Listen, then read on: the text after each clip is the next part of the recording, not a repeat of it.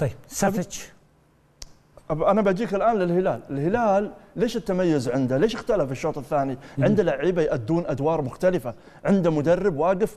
لما نجي يا رجل آه، آه، آه، قصص صنع للدقيقة ثمن لدى اللاعب الاحتياطي في الهلال. شفنا في وقت من الأوقات بعض المناوشات سلمان ما أنزل دقيقة دقيقتين. الكل صار جاهز.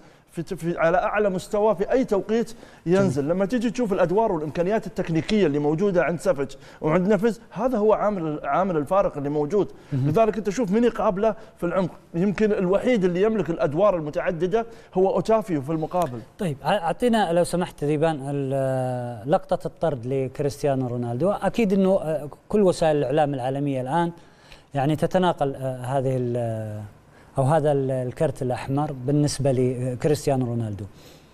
أول شيء مستحق؟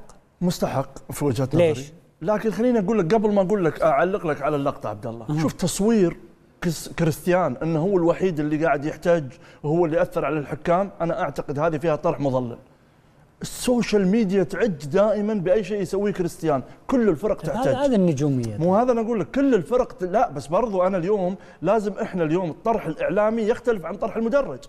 لا لا أنا أقول أنا أعلق لي على اللقطة هل هو يستحق الطرد مو أنا إيش قاعد أقول لك الآن الناس قاعدة أو أو ال- الغالب عبد الله قاعد يستغل هذا هل طرد صحيح قلت لك يستحق الطرد ما في ما ليش- عمل ليش ما عمل؟ ما في ضبط ليش نفس. وصل هالمرحلة؟ ما في ضبط نفس شحن المباراة طلع برا جو المباراة حبيبي هذا هذا. هذا مع ريال مدريد في الدقائق الأخيرة يجيب. بطولة أوروبا ده اللاعب اللي يملك الحماس اللي موجود عنده.